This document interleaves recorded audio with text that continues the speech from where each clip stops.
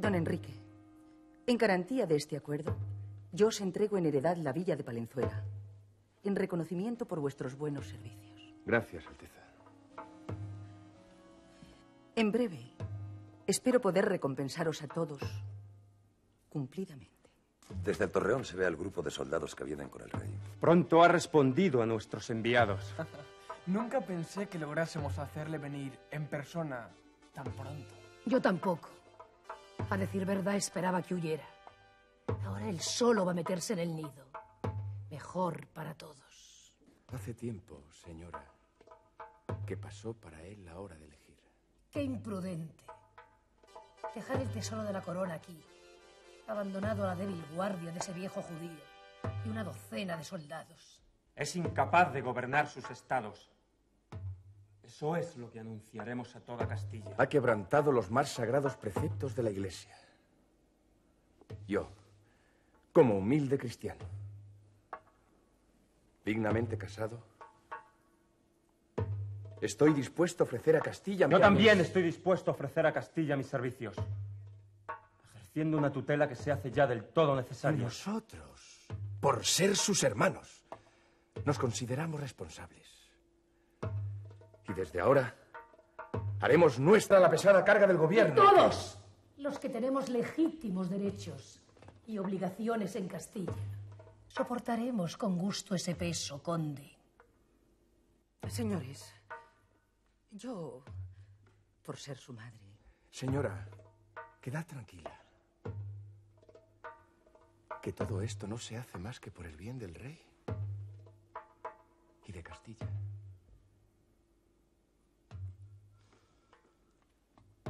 Salimos, pues, a su encuentro. Cierto que sí. Pero ese pequeño grupo de soldados que viene con él sobra aquí, en Toro. Señora, nadie ha pensado recibir aquí sino al rey. La escolta se la brindaremos nosotros.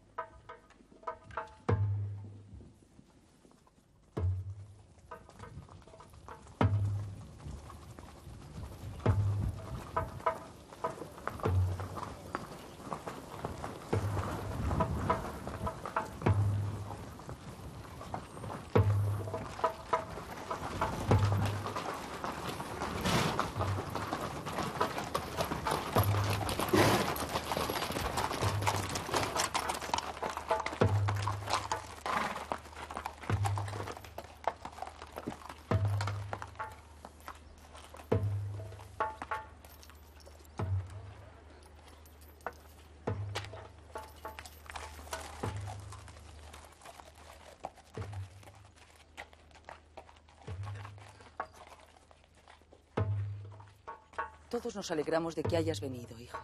Sed bienvenido, primo. Bienvenido, primo. Bienvenido, señor.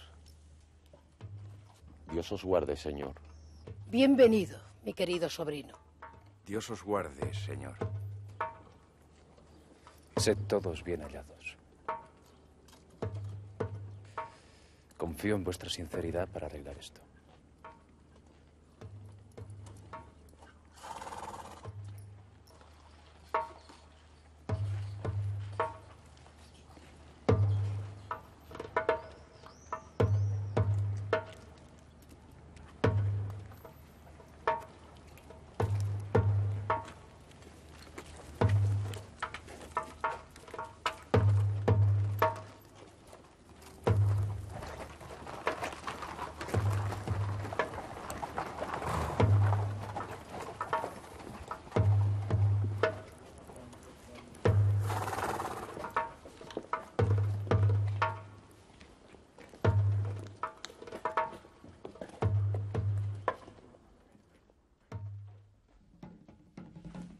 Entendemos que vos, ni antes ni después de la entrevista de Tejadillo, teníais intención de llegar a un acuerdo.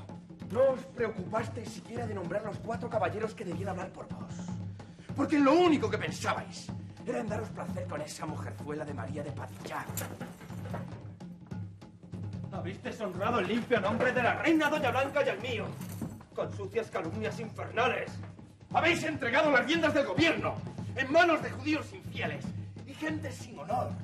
Quedaos de una vez entre los grandes de vuestro reino y confiadles a ellos, como es vuestro deber, el cuidado de vuestros intereses. Debéis volver junto a vuestra esposa, Doña Blanca. Enteraos bien que este estado de cosas terminó para siempre.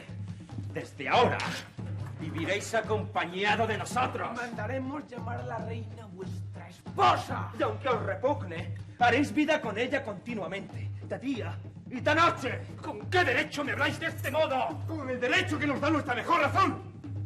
Y la voluntad de todos los que respondemos por vos. De mí solo respondo yo, y no vosotros. Reunid si os atrevéis a las Cortes Generales. Sosíguese vuestra Cuando hayáis descansado en vuestros aposentos, se os dará cuenta de las resoluciones que aquí se tomen. ¡Prended a Samuel Leví! ¡Prended también a Inestrosa! ¡Dejadles libres! ¡No les toquéis! No podéis ordenar en mi nombre. Sí podemos. Quitadle al canciller el sello de Castilla. ¡No! ¡Ordenar en mi nombre! ¡Basta ya! Es el rey. ¡Salid, don Fernando! ¡Sujetadle! Acepta las razones y todo se podrá arreglar aún. ¡Soltadme! ¡Nunca podréis ordenar en mi nombre! ¡Conducidle a sus habitaciones!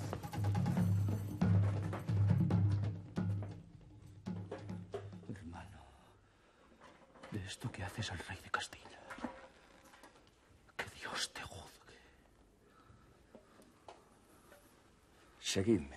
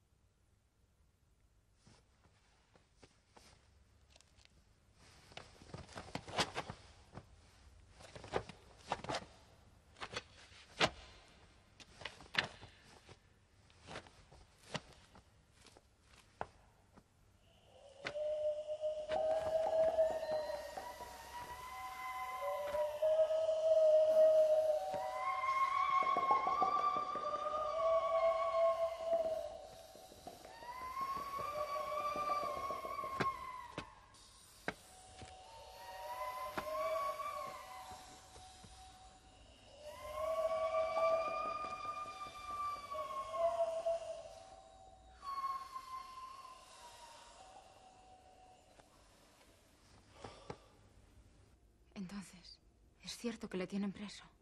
Completamente, señora. Pero no entiendo. ¿Es posible poner preso a un rey? Bueno, allí en Toro nadie dice que el rey está preso, sino reunido con su familia y con los grandes de Castilla. Por su bien y para la buena marcha de los asuntos del reino. Para enderezar su mala conducta y su vida cristiana con vos, señora. Pero nadie ha venido a buscarme. Sobre eso no me dijeron nada todavía. El rey mandaba dinero para mi mantenimiento, pero con estos sucesos, ¿quién es el encargado ahora de proveer esta casa? ¿Lo preguntasteis? Sí, Alteza, pero ya no estoy seguro de que me oyeran. No os podéis imaginar qué bulla, qué, qué ajetreo, qué ir y venir de gente en aquel castillo. Eminencia, me siento llena de temor en vez de feliz. Bien, señora.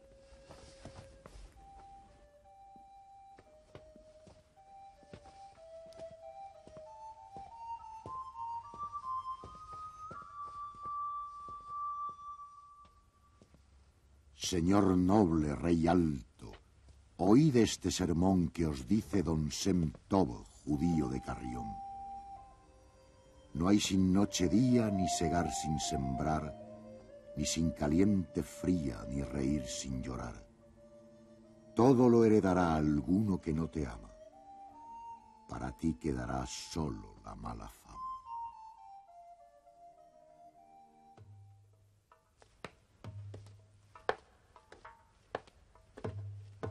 Está igual. Lleva varios días sin comer.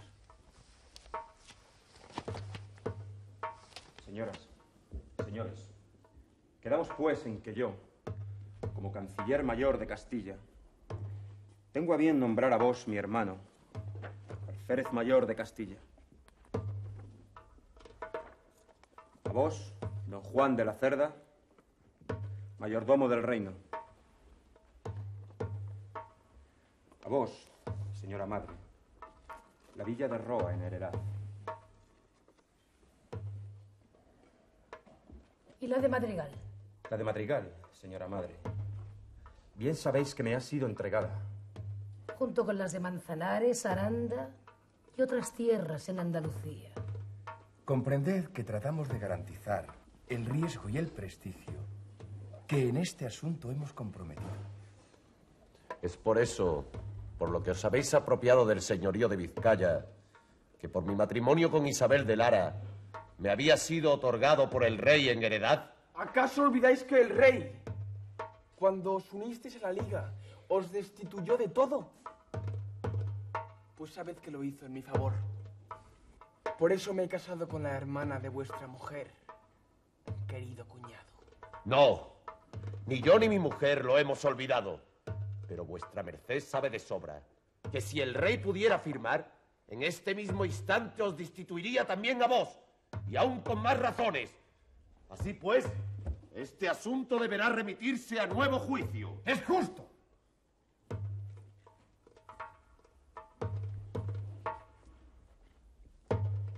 Es justo y así se hará. Cierto. Pero entre tanto, sosegaos los dos. Sigamos con los nuevos nombramientos. Entonces, pasarán a mi propiedad el señorío de Valdecorneja y el de Oropesa. Sí. Y desde hoy seréis nombrado adelantado mayor de la frontera. A vos, don Juan de la Cerda, os será dada la villa de Gibraleón.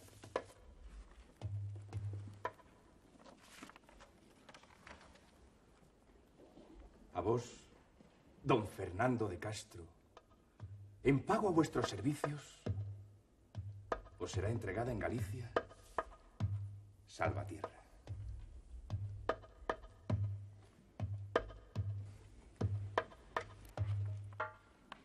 A vos, Pedro Ruiz de Villegas, el adelantado mayor de Castilla y la villa de Carrascosa. Vos, doña Isabel, viuda de Alburquerque, las tierras de Extremadura y la linde con Portugal.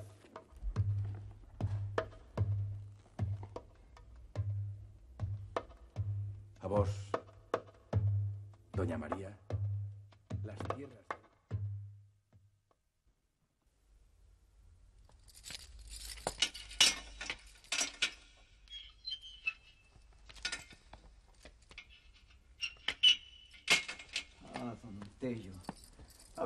escuchado mis súplicas. Por vuestras canas.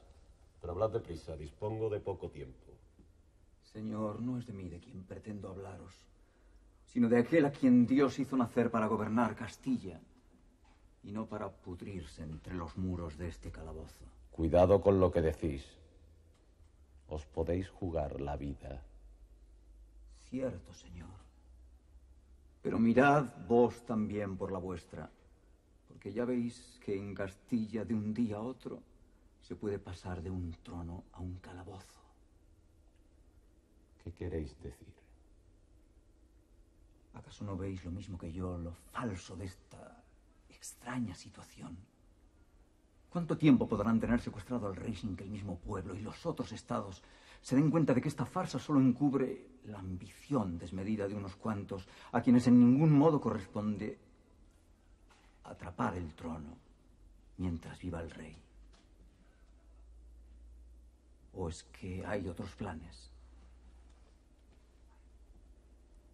¿Y creéis que aunque el rey desapareciese, iba el infante don Fernando a dejar la corona a vuestro hermano Enrique? Sí.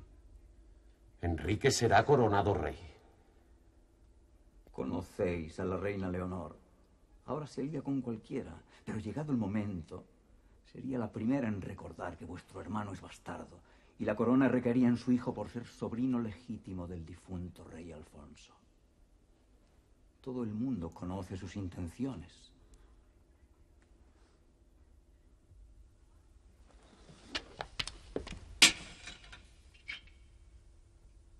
¿Para esto me habéis llamado? Id al infierno y soltad allí vuestro veneno.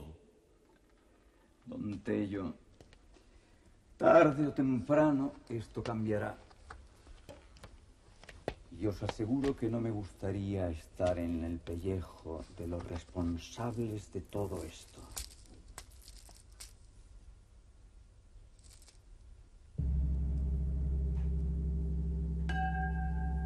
¿Por qué estáis tan seguro?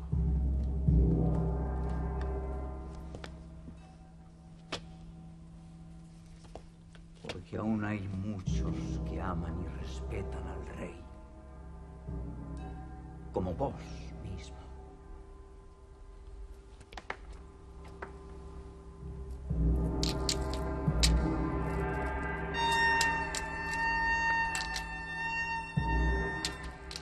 Gracias, Señor, por haberme escuchado.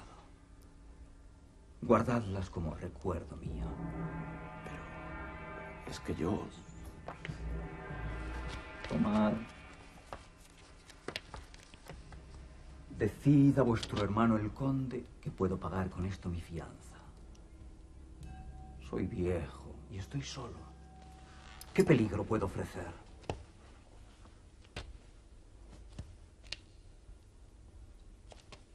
Solo quiero despedirme del rey, mi señor.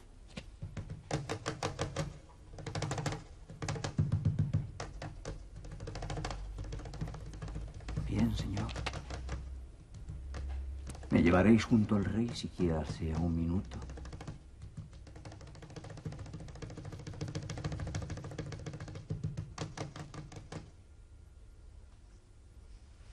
Lo haré. Solo un momento. Y haré también que os dejen libre mediante esta fianza.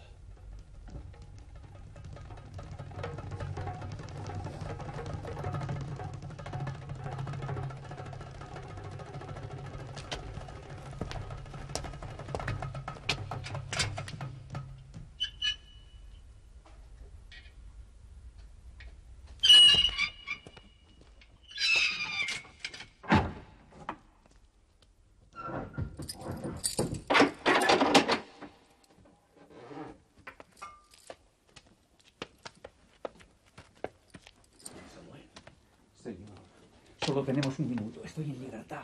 Seguid. Todo está preparado para vuestra fuga. Solo tenéis que conseguir que os permitan salir a cazar.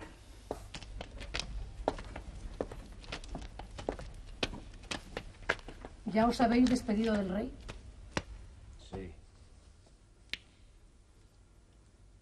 Señor.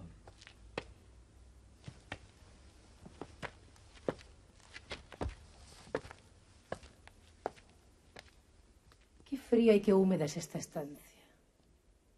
Tus huesos, sobrino, van a resentirse mucho con este desapacible ambiente. Lástima.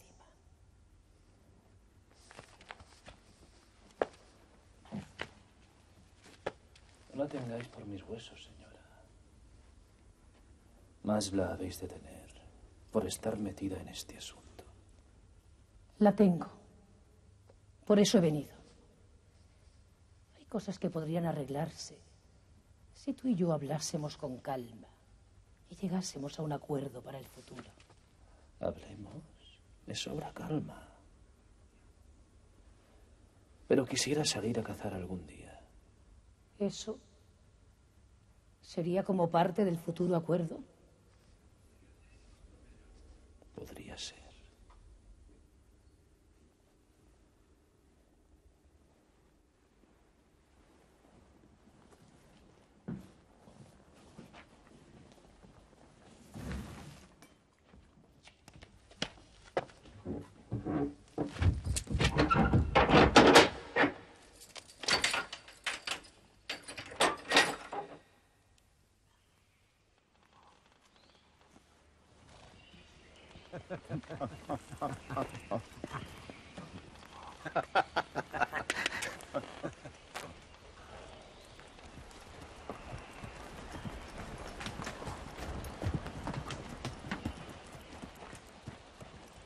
¿Sabéis lo que os digo? Que ya estoy harto de todo este barullo.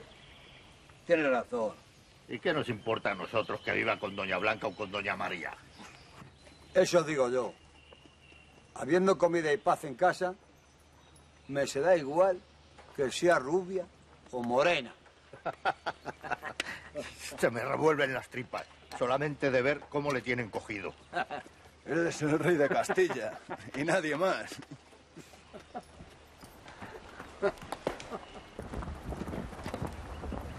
Señor, hay que aprovechar la niebla. Disimulad.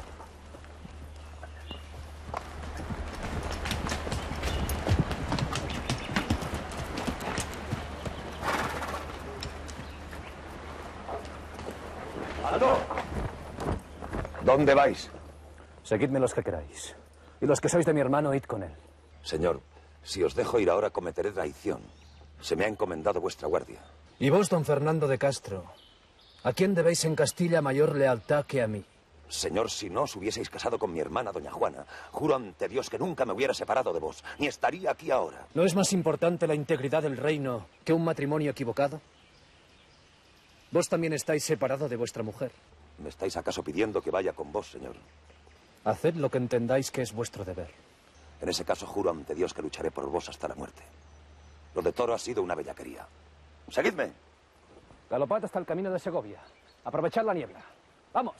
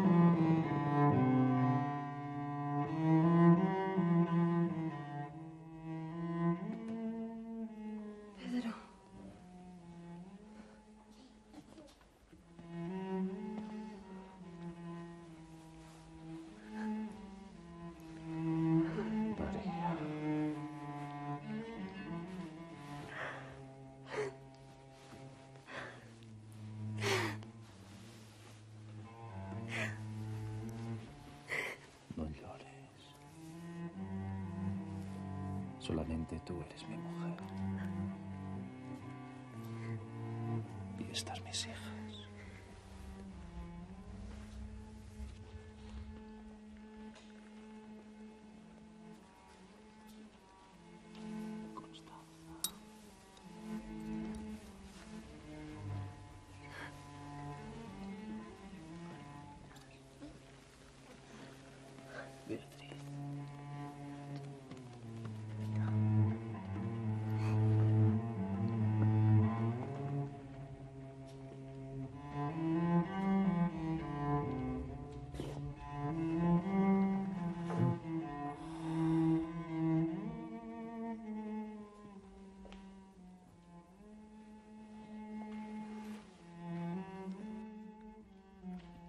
En justicia, tú eres la única reina de Castilla. No volveremos a separarnos.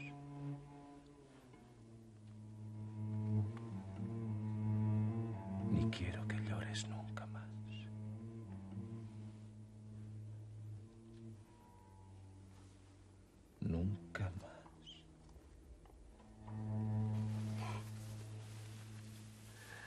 podía vivir sabiendo que estabas preso. Y yo sin tenerte no hubiera soportado más. Era como estar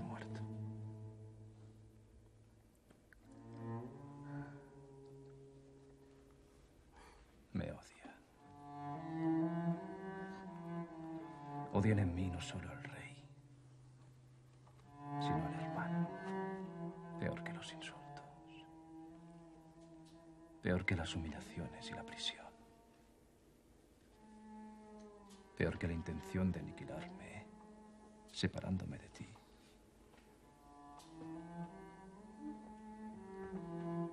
era sentir su odio. El de él, el de Enrique. Sobre mí como una baba inmunda de la que no podía limpiarme.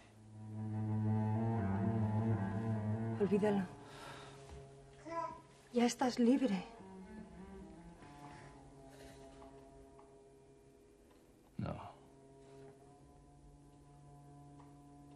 No lo olvidaré jamás.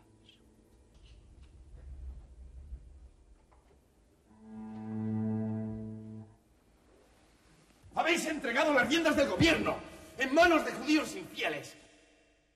Enteraos bien que este estado de cosas terminó para siempre. Porque lo único que pensabais era en daros placer con esa mujerzuela de María de Padilla. Habéis deshonrado el limpio nombre de la reina Doña Blanca y el mío. ¿Con qué derecho me habláis de este modo? Con el derecho que nos da nuestra mejor razón. Prended a Samuel Leví. Prended también a Inés Trost. ¡No! Acepta las razones y todo se podrá arreglar aún. Mandaremos llamar a la reina vuestra esposa. Y aunque os repugne, haréis vida con ella continuamente, de día y de noche.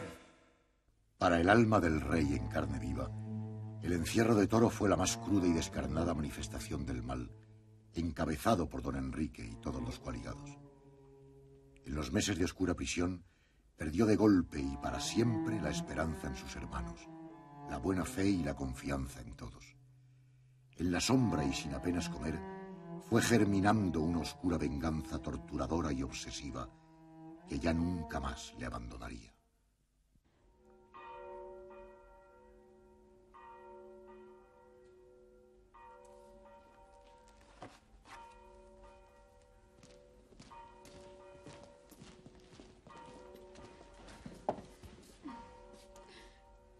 Fin habéis llegado. El cielo me ayude a defenderos, mi señora. He recaudado en la ciudad todo lo que he podido para vos.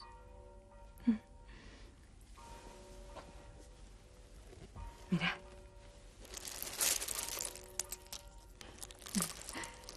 ¿Tenéis bastantes tropas? Pero necesitaremos más. Y más oro también. ¿Y dónde lo encontraremos? No os preocupéis, mi señora. Si es preciso, forzaré las arcas de Toledo. Juntos daremos fin a esto y seréis libre.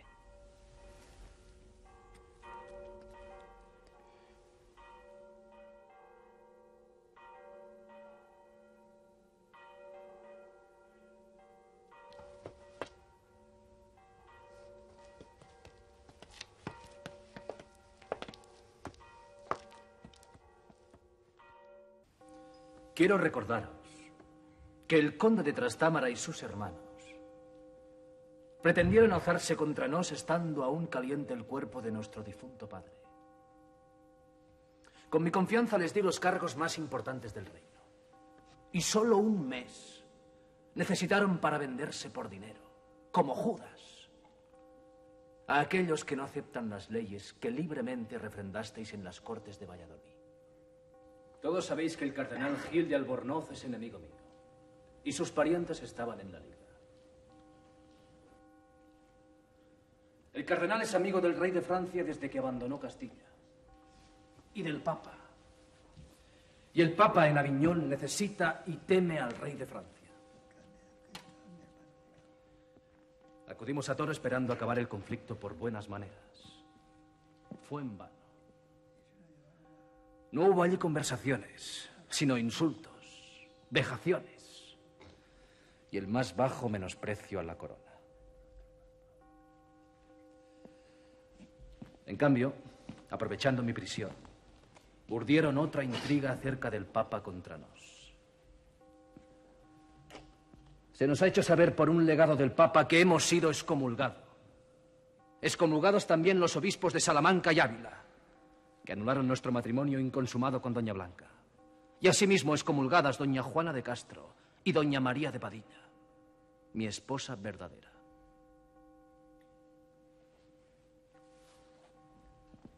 El reino de Castilla queda desde ahora bajo entredicho. Prohibido celebrar el culto, administrar los santos sacramentos. Y vosotros, mis súbditos, libres de guardarnos obediencia a nos y a nuestros oficiales. Así pues, como hijo de la Iglesia y como rey de Castilla, remito a estas Cortes el libre juicio sobre tales hechos. Y os invitamos y os rogamos a darnos vuestra libre opinión y vuestro consejo. Castilla hará lo que vos digáis. Ahora y siempre estaremos con vos. Vuestros designios serán ratificados por estas cortes. Mandad y obedeceremos. Gracias. Oídme. Como quiera que nos tenemos la sagrada obligación de asegurar el reino contra todo desorden o maldad, os pido que sea redactada y firmada un acta de repulsa contra las criminales pretensiones de todos aquellos que por motivos inconfesables ambicionan nuestra corona. Os pido sobre todo que ratifiquéis y se escriba aquí, ahora, una carta solemne de deshonra contra el conde de Trastámara y todos sus hermanos.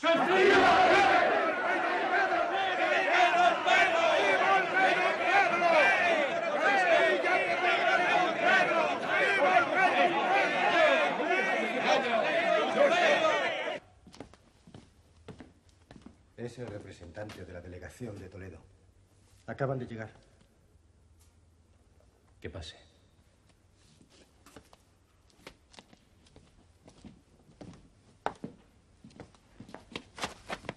Dios os guarde, Majestad. Venimos a implorar la merced de vuestro perdón. Nuestras culpas, Señor, ya han recibido el peor de los castigos. Os escuchamos.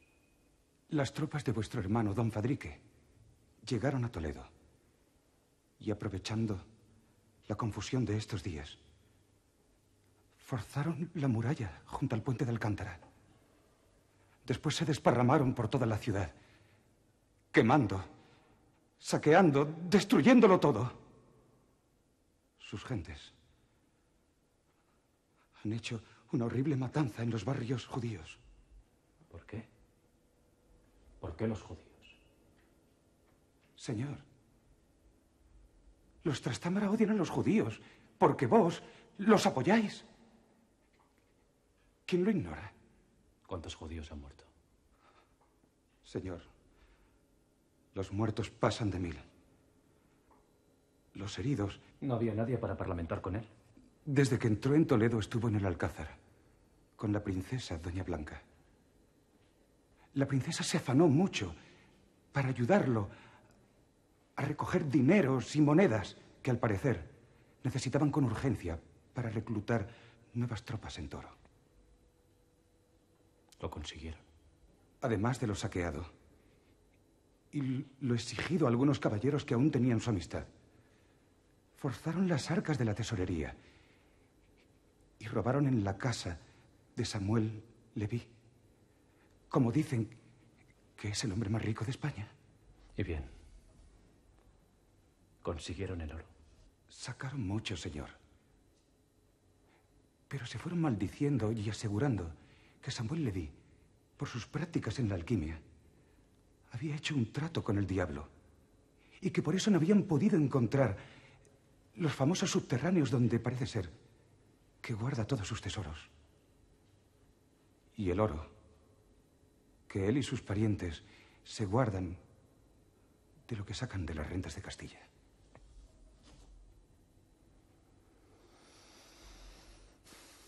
Y todos en paz. Cada robo, cada fuego y cada muerte nos duelen como si hubiesen sido rasgada y quemada nuestra propia carne.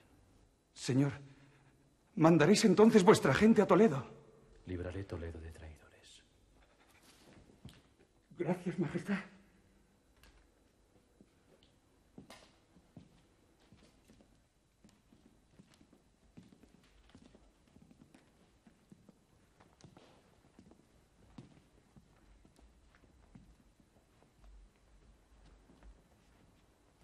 La juventud de la princesa cegó nuestros ojos, como una venda de gasa blanca.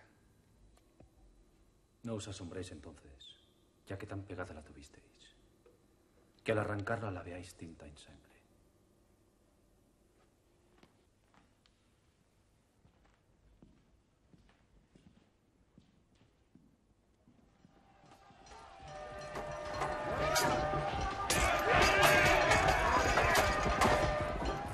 La sincera indignación por la bárbara matanza de judíos impulsó al rey don Pedro a defenderlo, y el rencor hacia sus hermanos y doña Blanca, que habían sublevado Toledo contra él, hizo que cayera sobre la ciudad a la cabeza de sus tropas implacablemente.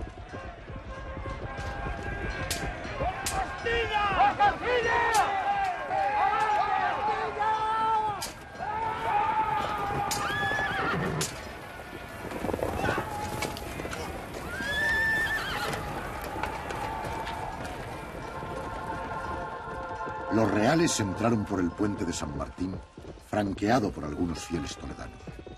Otros muchos les echaban soga sobre el río y numerosos soldados cruzaron así el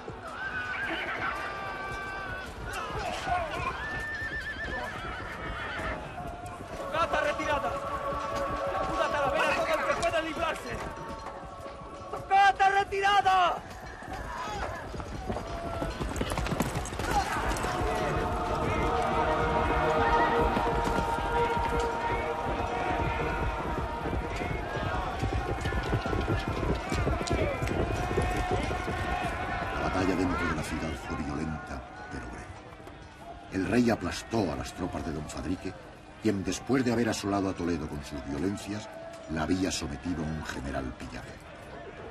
Llevándose todo el oro que pudo, don Fadrique pudo huir por el puente de Alcántara hacia Talavera para reunirse con su hermano, el conde de Trastámara. Desde allí, los dos irían a refugiarse a Toro. El rey quedó en Toledo para hacer justicia a su marisco.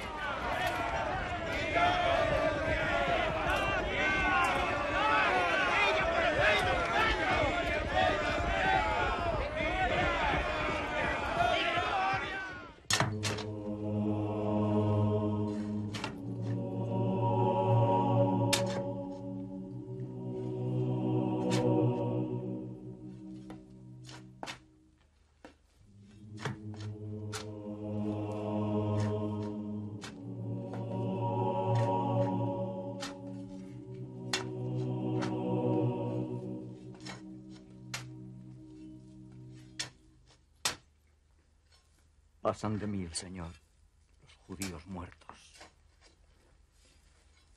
Pasan de mí. También mi familia.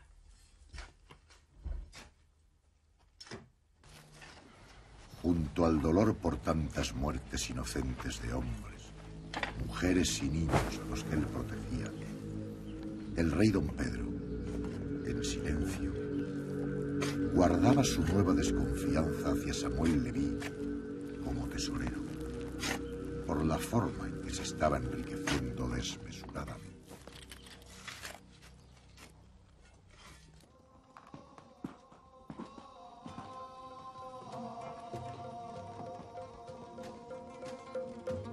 La venganza del rey había comenzado y la desbandada de los coaligados, presos de pánico ante su creciente dureza, fue general.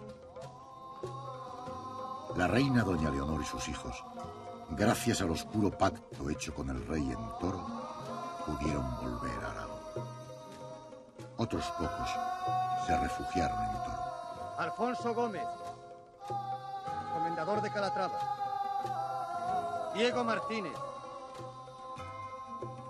Gómez Manrique. Sancho Ruiz de Rojas.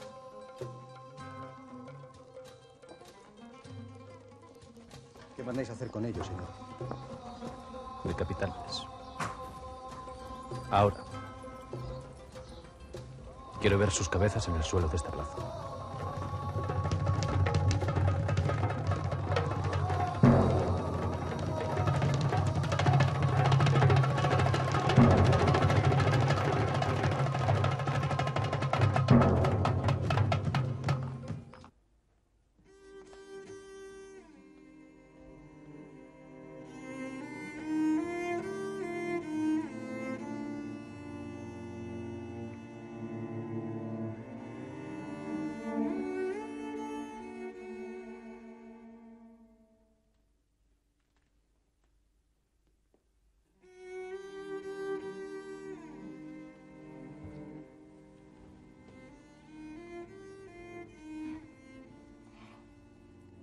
No tembléis, Alteza. Soy solo yo. Es peor la agonía de esperar su furia que cualquier puñal envenenado. Sentaos. Habladme. ¿Qué órdenes traéis del rey? Bien sean de cárcel o de muerte, decidlo pronto, por piedad. Que entren los ballesteros y los soldados. Sosegaos, Alteza. No viene nadie. Mañana saldrán todos con el rey.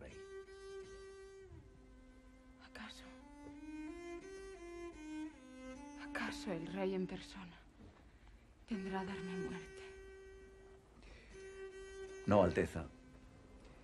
El rey no vendrá, no quiere veros. Solo ha ordenado vuestro traslado a otro palacio. Eso es todo. Solo eso. Solo. No. No. No es eso.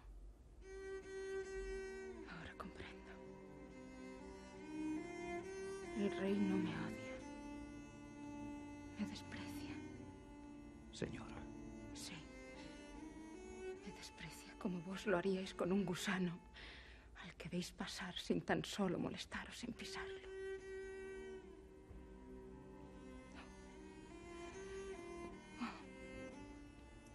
No soy bastante. Ni tan solo para perder unos minutos.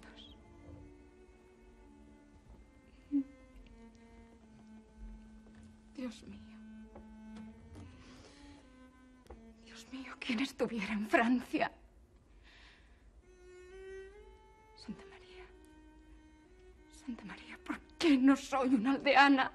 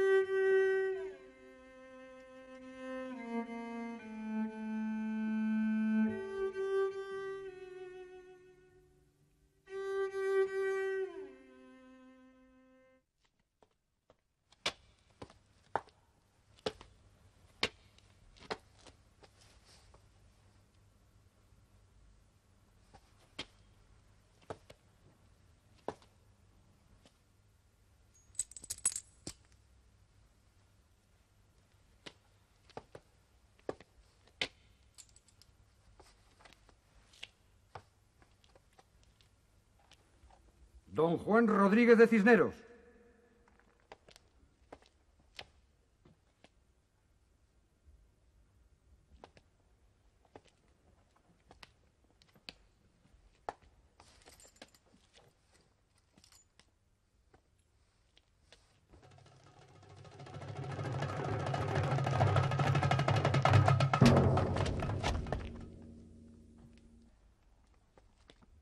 Don Pedro Ruiz de Villegas, adelantado mayor de Castilla. Su escudero, don Juan Martín Núñez de Arandia.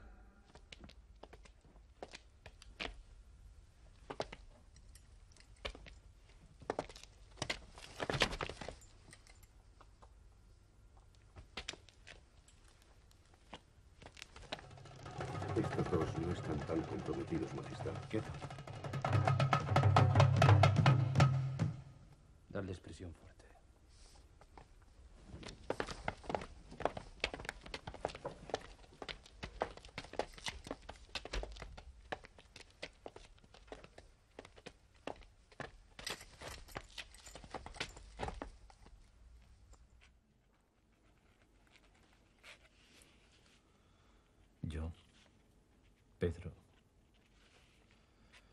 hijo humildísimo de la Santa Madre Iglesia,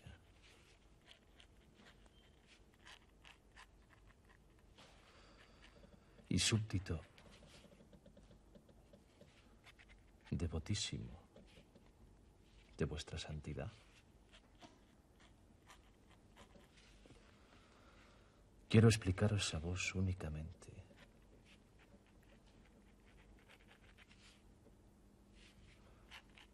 las causas y razones de mi unión con Su Alteza la princesa Doña Blanca.